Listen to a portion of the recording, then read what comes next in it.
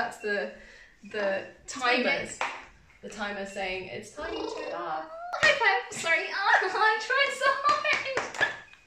I'm still my. I'm still in my hand. It's a liability.